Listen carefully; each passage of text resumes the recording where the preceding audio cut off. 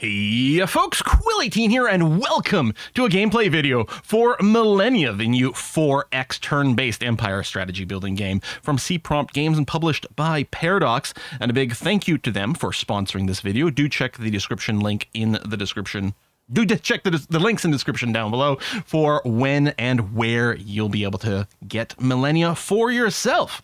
So in this video, what we're looking to do is showcase the sort of mid to late game of Millennia. And in particular, we're going to be hopefully entering into the sixth age of the game. I'm currently in the age of Renaissance over here. And if we go and take a look at the screen, if we look at the order of things, age one, age of stone, age two, age of bronze, age three, normally the age of iron, but someone, I'm not going to say who, okay, it was me, was ultra aggressive, and as such, we entered the Age of Blood Crisis era instead. Age of Blood Crisis era does um, make it so that uh, everyone is at war with one another. Well, this is just talking about the Crisis Age in general. Age of Blood, all nations are locked into war. So I may have slightly set the world on fire via rapid aggression. I did take the Raiders national idea over here to spawn a bunch of units and run roughshod over all of my opponents. In fact, from my continent, from all the way to the south to all the way in the north, is entirely owned by myself, and I am playing as Sweden in this particular game.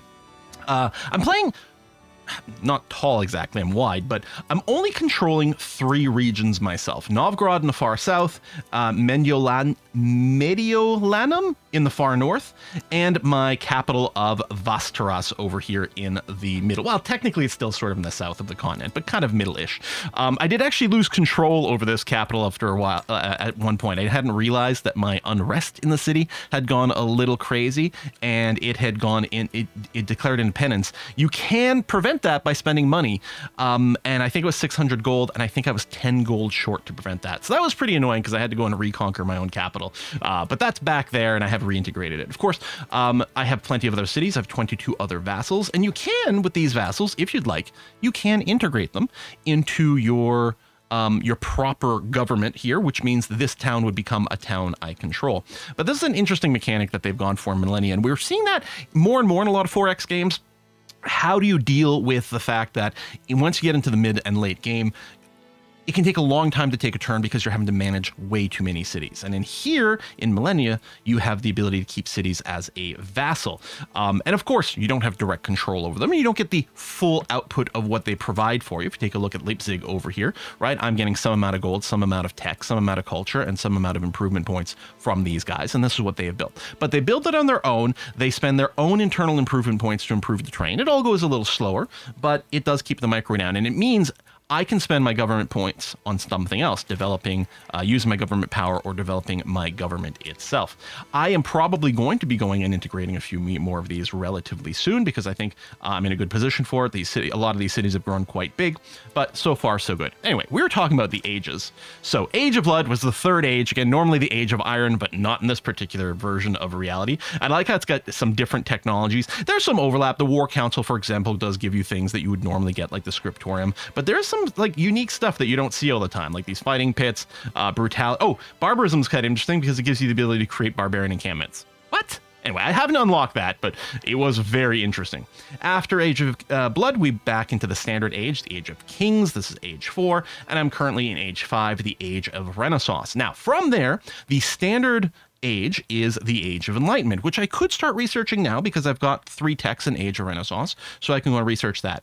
But I'm kind of curious what the deal is with this Age of Alchemy. I haven't I haven't looked up anything for these. I don't have any spoilers. I'm curious about this. I need one more social fabric insight to be able to progress towards the Age of Alchemy, and I should get that soon because my diplomacy. I'm about to hit 300 points in diplomacy. I should be able to hit this tolerance button here, which will um, give me another social fabric point, and I believe that's what they mean by that. So fingers crossed that we'll take a look at the Age of Alchemy at that point.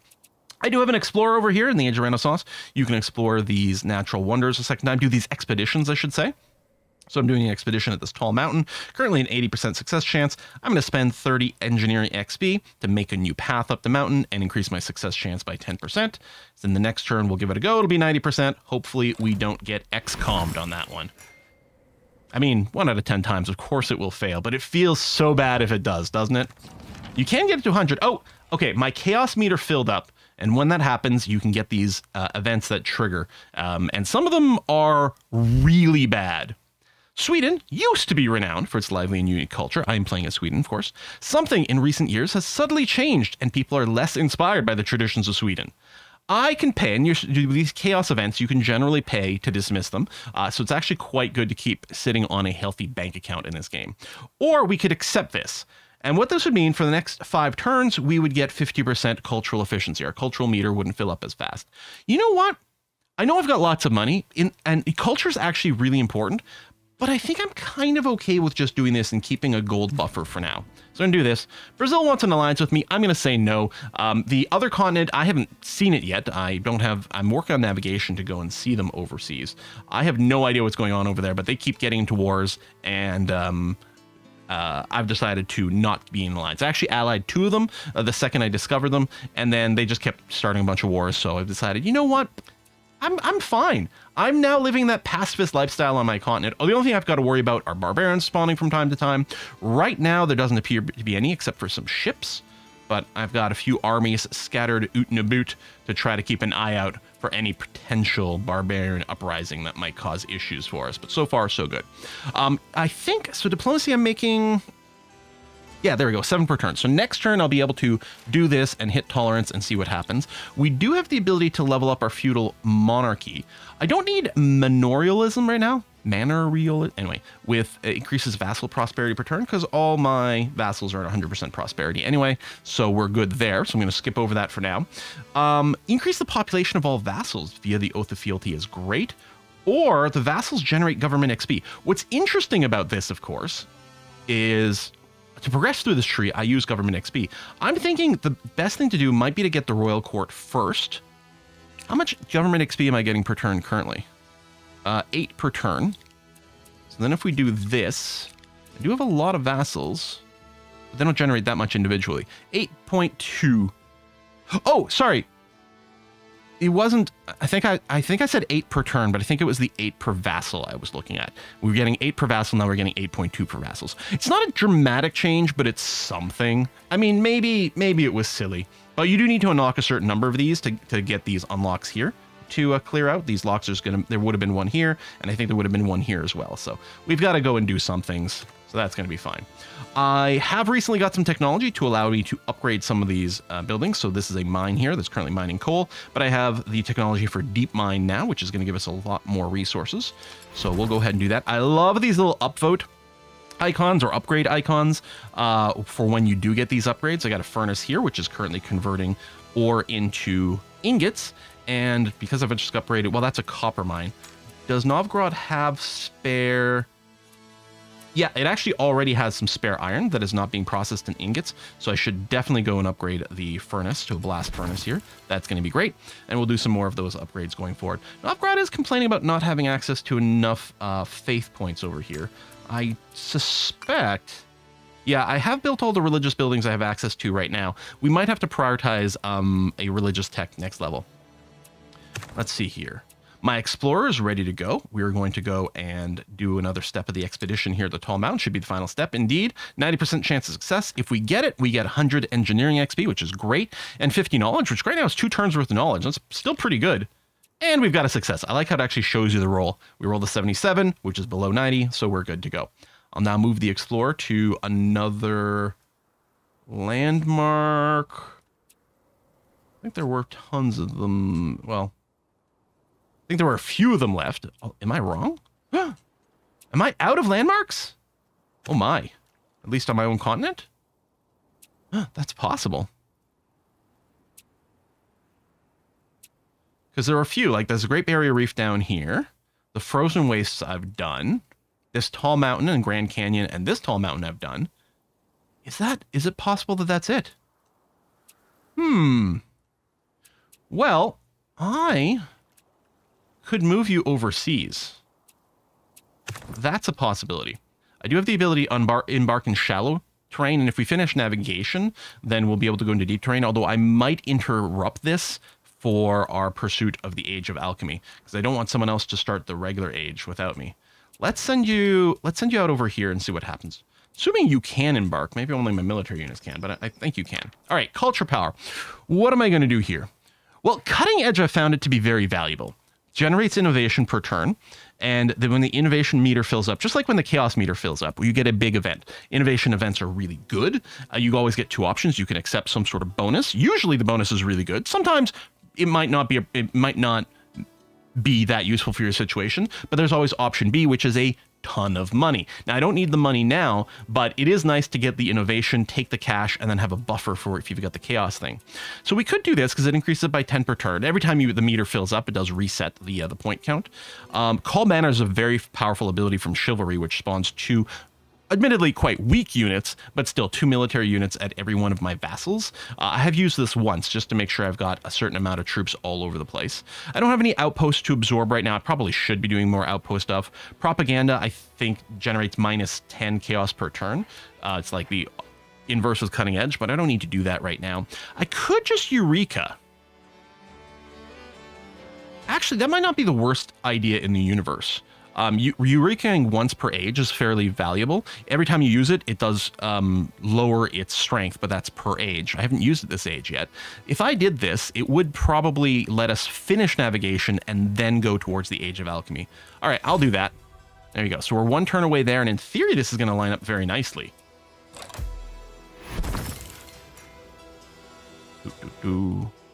Oh, Bursa doesn't have a religion yet. Quillism is our official state religion, by the way. Okay, diplomacy is just maxed out, so I'm going to hit tolerance. There we go. We got one level of tolerance right here, which is going to generate an extra 8 wealth per turn. And in theory, so we finish navigation, which allows me to build Carracks, uh, get the upgraded version of the harbor, and because I think it's the dock is the base, and then we can do a harbor. But yeah, allows you to transport units in deep water. So we could maybe go and look and find our neighbors. Oh, it has to be... I'm sorry. I didn't realize. It specifically wants insight.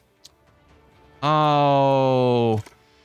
I was thinking social fabric insight was a point in social fabric, but no, it wants me to get the level four in social insight, which to do that, I would have had to save up my exploration points. Well, I'm very sorry that I misunderstood, misread uh, that. There is even the little exploration XP symbol there, so it's quite obvious in hindsight.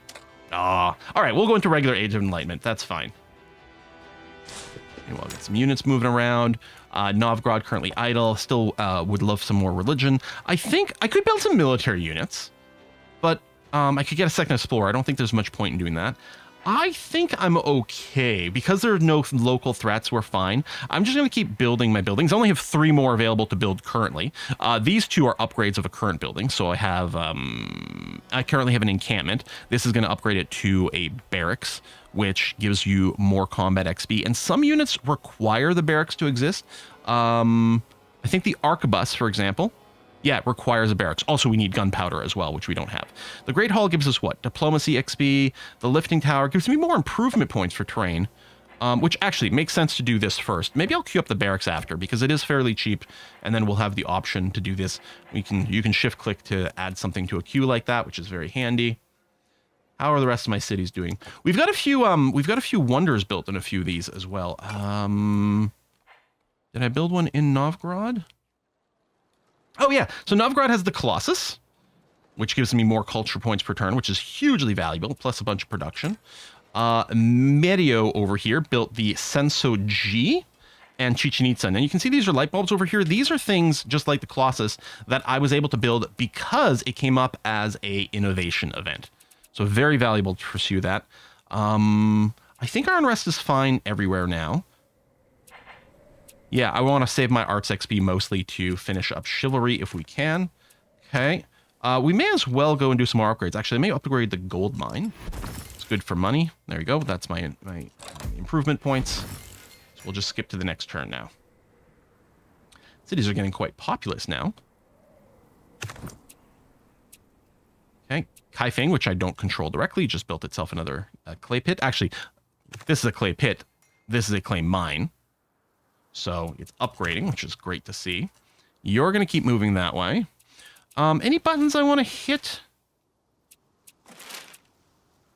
Actually, I think there are towns to rebuild. Maybe not you. See, these with the five, these are um, cities that can't grow right now because they need their region level increased, which is done by building towns. Um, I thought there might have still been some outstanding destroyed towns. It's possible I've repaired them all. Some of them got booped by barbarians, some of them got booped by me on my conquest. It's not that. We might actually be okay. Could expand a town if one of these already had towns, but their population couldn't grow anymore. I know, I can probably just keep banking this. We could hit the public improvement button, which I clearly haven't hit very much because every time you hit it, the cost goes up.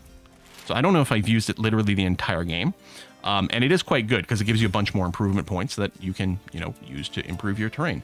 Uh, yeah, let's upgrade the gold mine. This gold mine, this coal mine, sure. There you go, and that's all my points. All right, end turn. Maybe what I'll do is I'll maybe do a bit of a fast forward to when we enter the next age over here, because I really want to showcase that.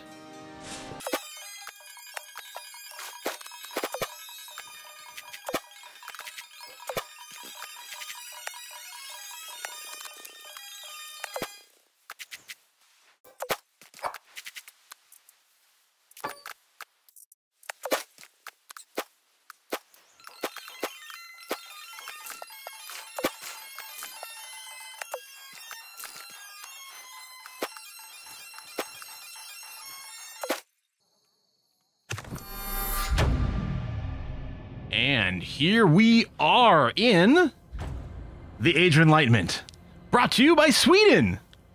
Completing your first public, public library building in the Age of Enlightenment provides you with bonus specialists. Secularism grows, preventing the founding of new religions, and slowly converts religious populations to be non-religious. From now on, four technologies will be need, need to be researched to advance the next age, and new national spirits unlocked. A few more things because we specifically are now in this age, as opposed to just it generally existing, education becomes a regional need. We've got specialists and national spirit slot, slot unlocked. I'm not going to ally with Brazil. We got a new possible domain here. So what do I want to pursue? Well, one thing to note is it might be a good idea to look at what you're generating a lot of points from and not necessarily consuming. We're generating 8 exploration XP per turn. I could be using claim territory, but otherwise there's actually not that much to be done with. So that's a candidate, for example. But we also want to look at what's good. For example, okay, so for exploration, the only choice would be scholars. Okay, I mean, tech's pretty nice. Education from books goods, which I don't think we're producing books yet. Uh, I, oh, I may have unlocked a tech for that. We'll have to see. Um, great library, bonus knowledge per allied or open border nation. Okay, you know what? That's a good way for me to be incentivized to um, go with some diplomacy. I think the wars have mostly settled down on their side. Not that there's a lot of people left to be allied or open bordered with. Scholarly Society, a new building. Oh, generates education and books. Okay, I really like this. Warfare, you know what? I think I'm kind of off of warfare. If I want to spend engineering XP, I could go with inventors. Gen inventors generate knowledge, have access to early power generators, and gain innovation for each ideal unlocked. Innovation is quite powerful. Hmm, this is a one-time boost. This is probably per, per turn, although it does reset every time you get the story done. Ah, colonialism, great masters. I think I want to go scholars. Yeah, let's go scholars. Um, I don't think we're generating books yet. So let's unlock the Great Library and build it somewhere. But then meanwhile, Brazil, we do have open borders, so that's going to be good enough. The United States, I have an alliance with.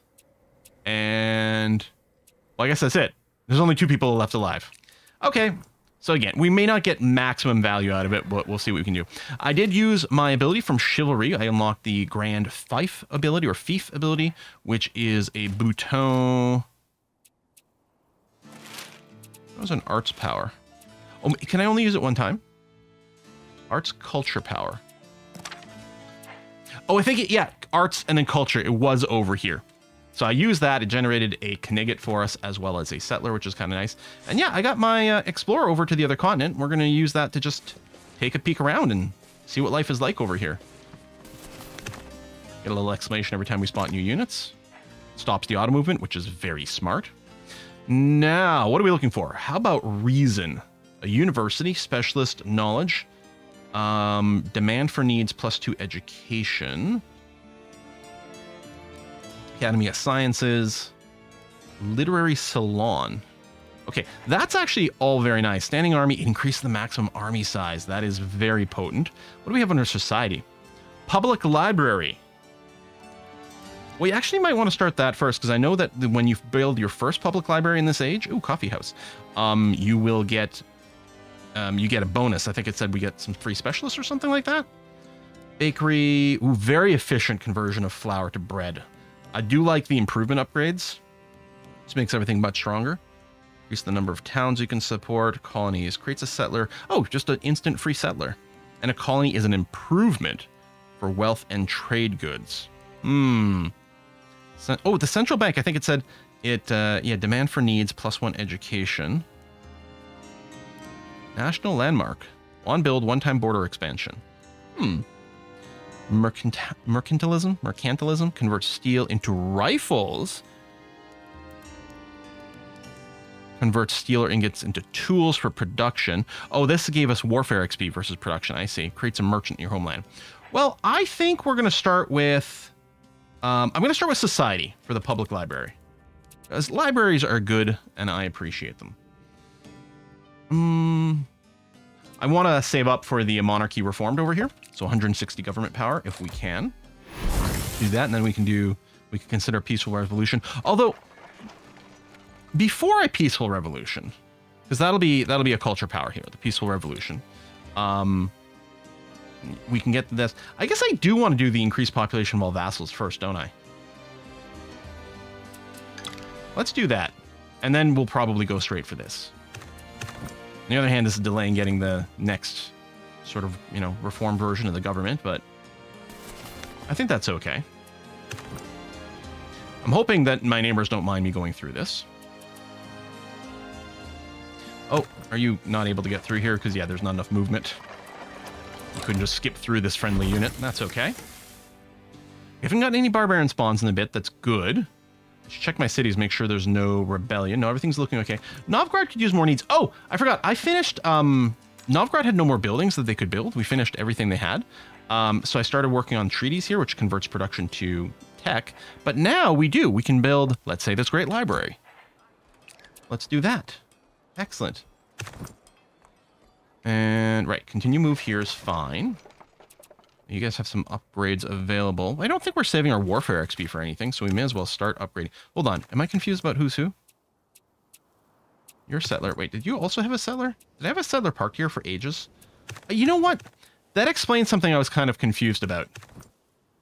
I forgot that this group had an ar uh, that, that this had a settler in it. I thought it was just an army here to Fogbust. I think I've got plenty of empty territories that I would still like to add a settler to. Maybe way down south in the frozen wastes. I can eat fish and stuff. I think maybe I'll settle here. A little silly that's been sitting around not doing anything for a while, but so be it. Um, let's go for the lifting tower first for more improvement points. Speaking of, I've got a bunch available. How is Vastaras doing? We could go and consume some more flour here. Although, aren't I about to get another building that's better for that? I'm not sure. I don't have anything that converts fish. Oh, I do have a lot of wheat sitting around. So it feels like what I should probably do is go and at least make another mill, which is going to lead to more flour sitting around. So I'm going to pair that with another oven to turn more of the flour into food. I'm not going to do anything else because I think they may be waiting for some upgrades and that's going to be okay. Oh, I have some grapes here. We should absolutely, I think that's still under cooking build a winery. There you go. It's going to convert two grapes into culture and luxury. There you go. Our luxury need is now 200% met. We actually do need a little bit more sanitation here in Vastras. We've got a couple of, um, they were middens, midden heaps, now they're trash heaps. I guess I'll go and build another one of those. Those are under civic, except I don't have enough points for it, so I'll just put a little reminder to try to remember to do that next turn. Deal with that need, help Vastras. I mean, I'm sure that's not how it's pronounced, but deal with it. That's what we're doing. All right, continue moves, continue moves. You're just going to keep exploring around. We'll visit Seattle. All right, culture power is up. Oath of fealty. Oh, the Oath of Fealty was a power use here. Okay, you know what? Yeah, I'm fine with it. I wonder if it's going to increase the, the population of Volga, because it's actually at its cap. Alternatively, what I could do is build a town there with this power. Or if I have engineering points, because you definitely have a town, let's expand this town here, which will alleviate your cap. Now, there's still some, so these guys here with only five points. Let's see if they go up. Because it's kind of fair if they don't, and it would be really nice if they did.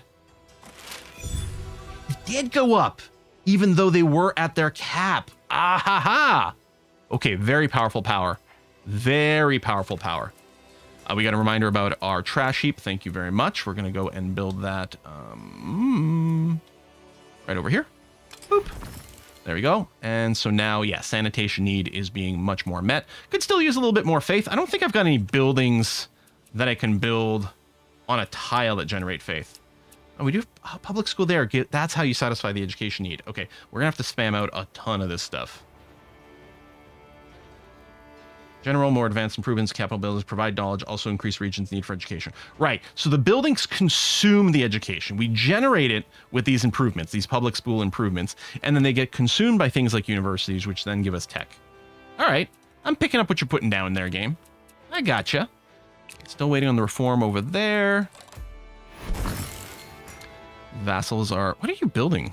All copies the same thing. I think they like to build little hunting um, lodges. That's probably what we're seeing there. Okay, 900 bucks. I'm good on money. In fact, I can probably start spending it. Uh, plus one bonus government XP from books goods. Okay, we have to see about making books. Um, right over here. Scrublands, yeah, hunting camps, which provide food and therefore provide a little bit of growth over here. Um, again, I want to I want to finish the uh, reformed monarchy over here. So because otherwise I could be going and integrating these guys, but I really do want to finish that government. So that's going to be my priority. But then we might look into integrating some more people just because then we can take over their growth. I can't do the tiles. I can't mess with their tiles or anything while they're a vassal either. I mean, I don't think so. No. No, you definitely can't. Like if I look at Kaifeng over here, I can't do anything on the scrublands. It's just not an option.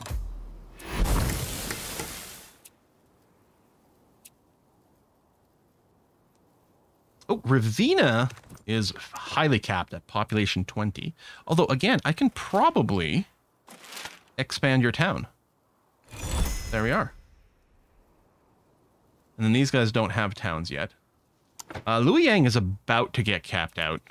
So I may as well plan on expanding Calmore for you ahead of time. There we go. I guess, it turns yellow when they're right on the cusp. That's good information. Good UI work.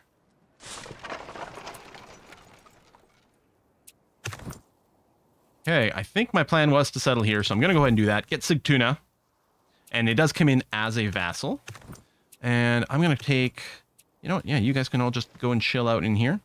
Sort of our border town, more likely perhaps to be affected by barbarians and things. That's good. And then, yeah, we'll, we'll get a reminder once we hit 160 points. Uh, yeah, you can just continue your move down here, please. And then end turn.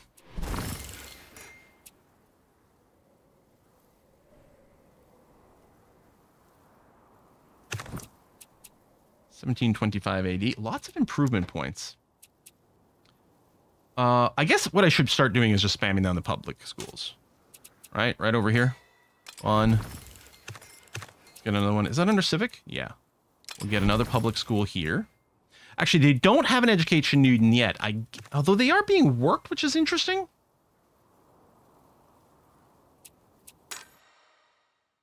But I'm guessing it'll really come in once we get a building that requires it. Okay. You can continue your move. Thank you very much. You can continue your move there. Revealing a bunch of the map. I think I might have to reload again. Where I'm on version 0.3 of this game. So, ooh, museum. I think this actually produces education. Levels up the region, gives us luxury as well, which is currently all capped here. I think I might get the throne room just so we can get some more government XP, because we do use that a lot, especially if we're going to start um, integrating more of these vassals. That is going to consume so much.